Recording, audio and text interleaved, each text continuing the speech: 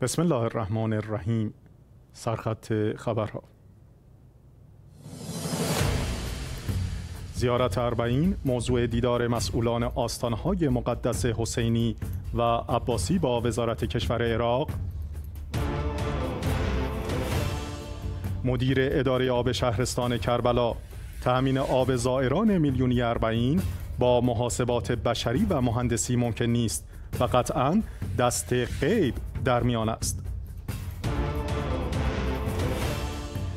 نگرانی ها از افزایش خشونت ها علیه شیعیان در افغانستان و آیت الله لزما شیرازی. عدالت حقیقتی یکسان در همه جاست. فقط مراتب عدالت ممکن است فرق داشته باشد.